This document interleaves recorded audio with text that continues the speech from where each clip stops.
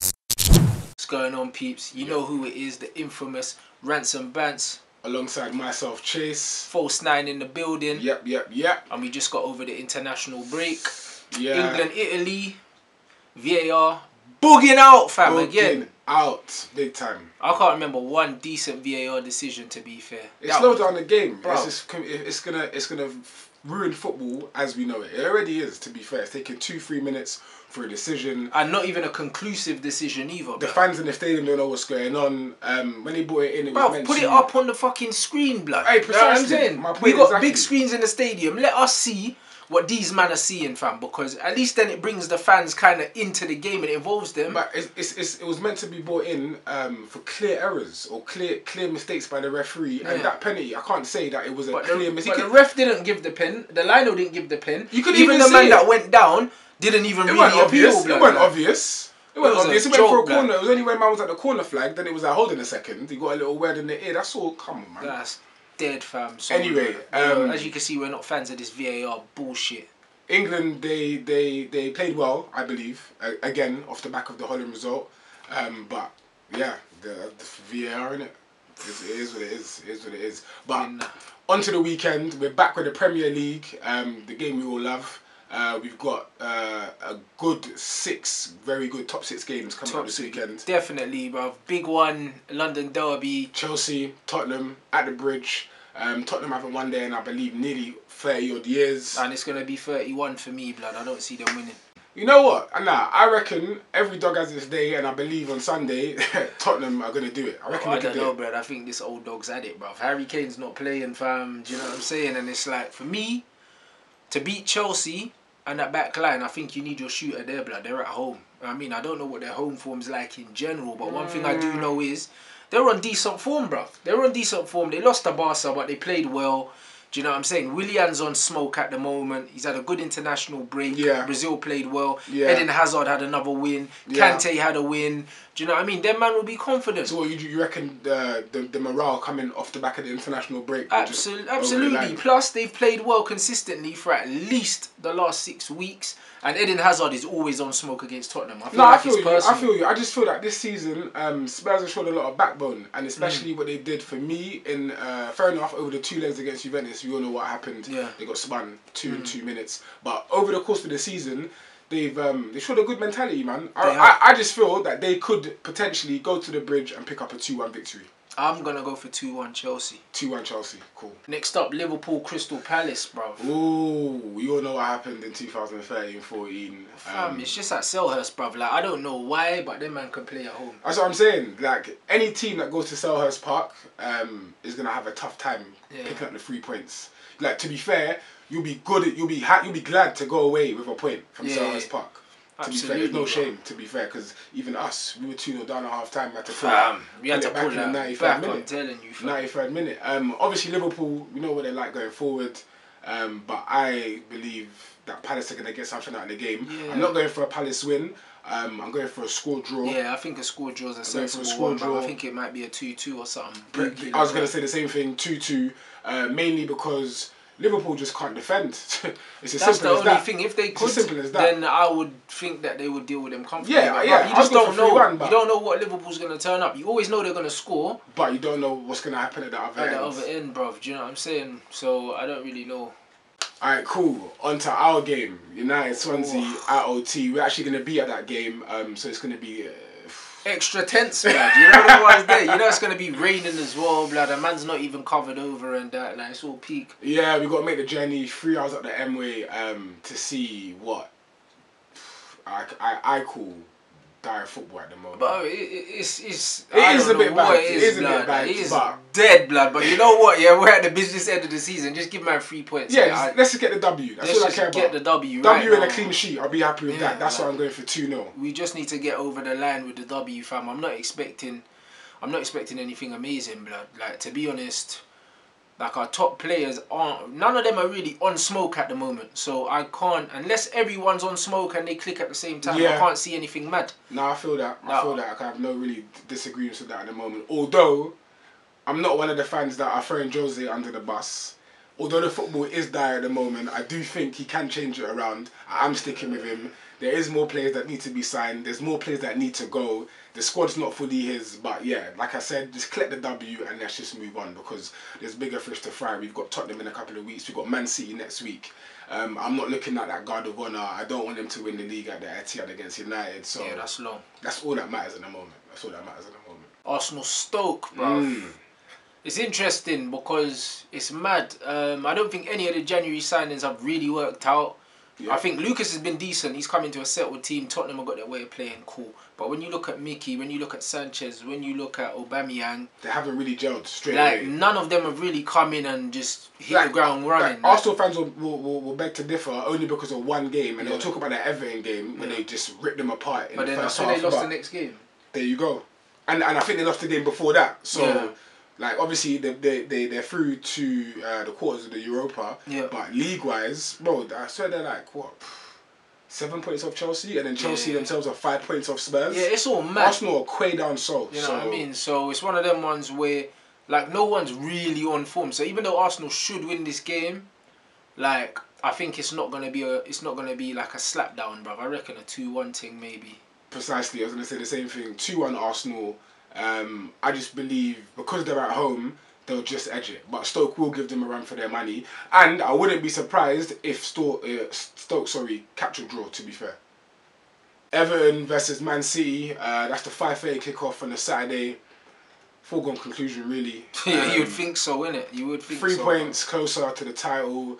I cannot see it going any other way. To be fair, I don't. uh, Regardless of the way Allardyce tries to say. Unless unless City have kind of got one eye already on the title. Pep, one eye. You know, above Pep's a savage. Like I feel like even if you're five 0 up, he'll, he'll try and That's what I'm throat. saying. That's what I'm but saying. I can't see them. Allardyce just has a knack of just stifling top managers. He just does it. His his football just annoying. Yeah, but bruh. did you did you see the Stoke game, the David Silva Yeah, goal? yeah, yeah, yeah. That's what City are on right now. see, you're on ruthless. smoke, bro. They're ruthless. That was within like eight minutes, eight nine minutes. The game was over. That was it. So see you on kicking man when they're down, bro. you know what it was? I'm going for you um, really on that. Bro. I'm going for three, three, three, one City. The reason why is because Everton at home, I do expect them to to push somewhat. Yeah. Um, and and that push leading to a goal. So three, three, one City for me. You reckon? I think City, I can't see City not winning, bro. Yeah. You know what I'm saying? As much as you'd like to think, ah, I think Everton will score. So I say yeah, two one, bro. 2-1, I yeah. think it's gonna be a tight affair though. You reckon so? Yeah, I reckon every like common sense tells you it's gonna be a slapdown, but Allardyce. I don't know, bruv. Even if Allardyce has to set up and try and win it on a set piece, he'll do that, bruv. he Yeah, no, doesn't he's care. a bastard still. Doesn't care, bruv. Like he will that literally do that ten man on the goal mouth thing. Like he will do it, bruv. Yeah, he can. Everton can set up in a way to stifle Man City. They've got the players defensively, And they've got the pace in behind, but yeah, if they yeah, want to use could. um, Walcott or Bolasie and that, like they have pace on the counter as well. So I don't think it's gonna be a quick slap down, but I think City will just get the job done like yeah, they've been doing. Yeah, yeah. Un- unfortunately, that relegation zone, that relegation dogfight. Dog fight, blood. Somewhere that I can gladly say because I made the right choices in life that I've never experienced. Man likes to win stuff, um, but we've got a very precarious situation going on in the Premier League right now in terms of the bottom half of the table. Um, It's tense, It's blood. peak. Obviously, West Brom, as everyone knows, Pardew dead out. Obviously, it's come through. Tried to do a thing, but them man are seven points adrift Yeah, they in twentieth. They're as good as gone, bro. Yeah, ship is sailing far out. I out, think out. they made that appointment thinking about the championship. Yeah, yeah, I They think must- so. They I must think have, so. They must have, Why they make must a change exactly. that close to the end of the season, bro?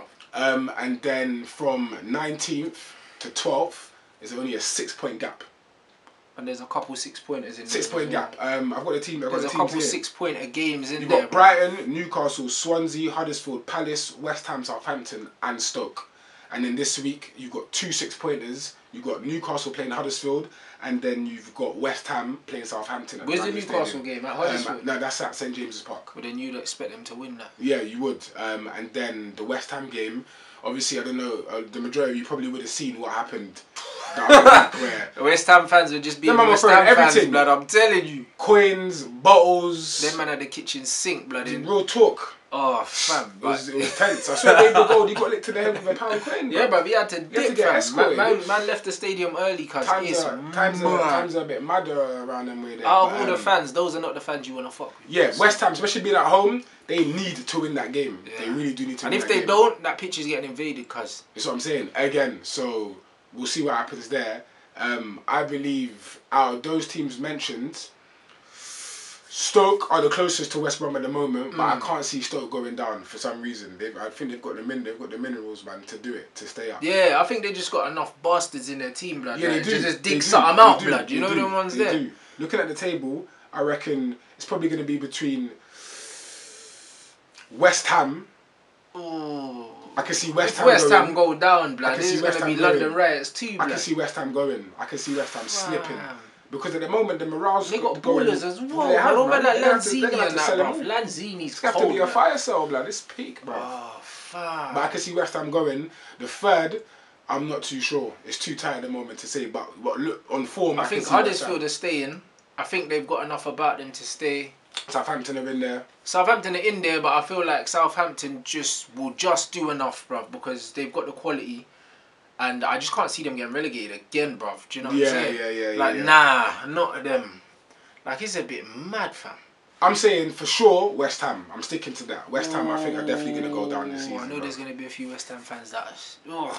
But bruv, like you know what I mean, like the relegation zone doesn't discriminate. Like, exactly. When you lot went down the last time, I thought they were too good to go down. How you getting the, um, Defoe and then man getting relegated? Like I There you didn't see that coming. There so- you go. So And you ain't got a Defoe right now, so. Exactly, man. Arnautovic, bro. He's too good to be at West Ham. Or the way they're playing at the moment is too good. The only thing that I can say about West Ham is um, David Moyes, you bastard, bro. This is what you get. this is what you get. But he started so well, blood. This is what you get. This is what David get. I Moyes started so well, blood. He I had the no juice, blood. I have no sympathy for you.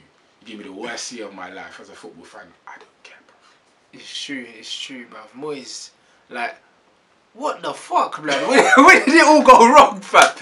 Like, man, man booked out United, booked out in Spain, got another job here, booked out, and then got another job again, Yeah, don't know. Like, what I just- going on, they, fam? just, they just keep on giving. I You know there was all that before they give a black man a goal, blood. You, ah, come on, blood. They really rule that, blood. I'm telling you, blood. If Moyes gets another job before I see a, a black man, another black manager Yeah, in done. the league, I I'm done. done, I'm with done. football, done. blood. Man like Mo Salah, Mo Salah. chicken tikka Mo Salah, bruv. He's been on smoke this season. Bag of debates. Should he get Player of the Year if De Bruyne wins the Premier League? Yes. That's what I'm saying. In Yeah. my opinion, He's been a better player. yeah, I think that Mo Salah deserves it. But if Kevin De Bruyne did get it, I wouldn't say that Salah was robbed, blood. For the simple fact that I feel um, how good you are as a player and how vital you are to your team are not the same thing, blood. Yeah, 100%. Because Mo, Mo Salah is bagging the goals.